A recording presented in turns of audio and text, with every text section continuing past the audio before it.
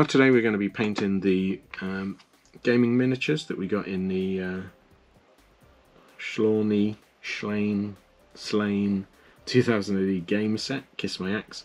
So the first job is going to be to uh, trim away, so like you see he's got a big old uh, excess bit of resin there, trim away all the parts, assembled figures, and then undercoat them. I'm going to paint these in um, speed painters, uh, speed paints, so they need a, a white undercoat, There's normally an undercoat in black. Um, so that's the first job, um, and there's not a lot of cleanup on these to be honest, a bit of sanding on the bottom. Um, every, everyone's got an injection lug, so that needs sanding off, otherwise they won't stand up. I don't know whether I'll put them on the bigger round stands yet. I might, because then I can do a little grass terrain, etc. Um, and just build up the stands. So that'll be the first job. So I'm going to do that now. Uh, if I can find my scalpel.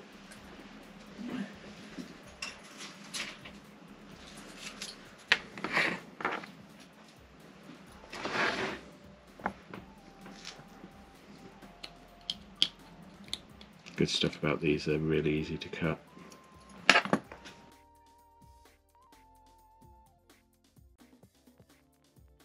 Don't know if I might remove them from the stands.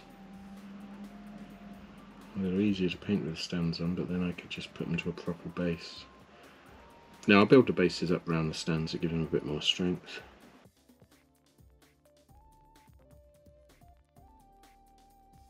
I need a bit of trimming. Do that.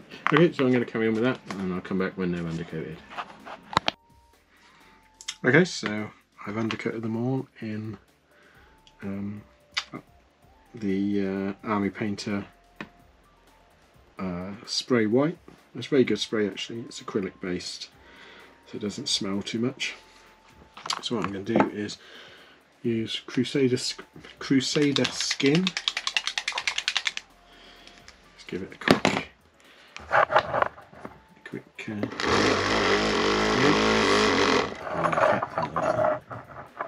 You right Maggie? You like that do you? No. Um, these paints do require a bit of uh, mixing, otherwise they tend to, um, all the pigment goes to the bottom. Put a bit on there. Uh, find a brush. And then it's just a case of painting in the flesh parts. Um, good thing about these army painters is they, uh, they're speed painters, so they're designed for just getting the colour on and it does its own thing to uh, even itself out. And it dries really nicely to be honest. You have to leave it a long time to dry though before you start sort of doing highlights or anything otherwise it does just peel the paint off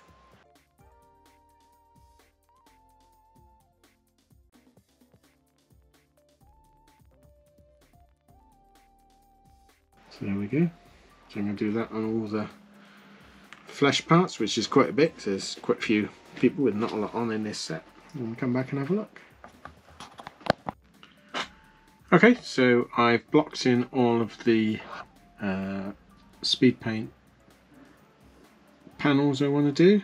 Um, so everything else is going to be uh, normal acrylic paints. So for like the tartan metallics, uh, stuff like that. Um, but you see the speed paints give a really good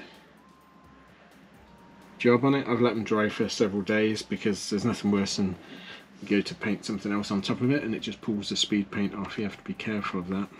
Um, so what I'm going to do now is paint things like uh, black out the areas that are going to be metallic, um, like swords, shield bosses, etc.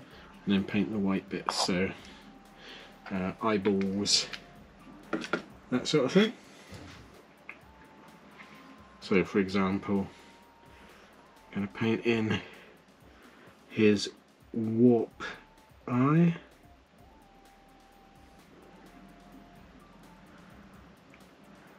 And try and get some detail on his teeth.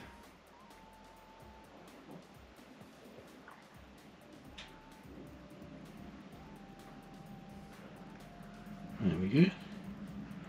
Um, so that's what I'm going to do next. So we'll come back when that's done. Perhaps do some metallics.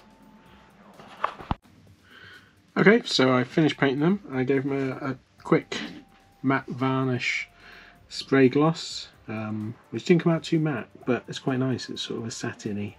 I probably didn't shake it enough. Um, and then I just flocked some grass on. So let's have a look. I'll just make some space here. So we've got, let's bring that over. So we've got uh, warped uh, Slaine. I painted all the uh, tartan. You've got axe wielding Slaine. I like him, he's really good. Uh, the rock was actually a lot more fun to paint than I thought. Lots of washes and lots of detail on it, lots of like bones and skulls. Uh, you get the priest, who again, they really like Speed Painter paints these ones because there's so much detail been sculpted in. You get a little priest fella. He's caressing his rock. Uh, you get the uh, female figure holding a torch. I did like the way she came out. Uh, you get uh, Ukko the dwarf. It's got a lot of character that sculpt. Sculpts are really good. And then you get the three, I presume they're villains, adversaries. So one, two. You got tubes coming out of their beards. I don't know quite why. I need to reread the comic strip. Um, so yeah, so they were real good fun to paint. Lots and lots of detail to pick out. Uh, and like I say, if you do the, the basics in speed paint and leave it a couple of days to dry, and then do the rest in acrylics, you can do them pretty quickly. But yeah, hope you like that. If you want to see more figure painting, let me know. I've got absolutely tons. I've just just got some Dad's Army ones came in. Um, but thanks for watching. Please like and subscribe if you can. Uh, we have a Patreon page now, so if you want to click on the link and uh, have a look at that, that would be great. Um, but thanks for watching. I'll see you again next time. Thanks then. Bye.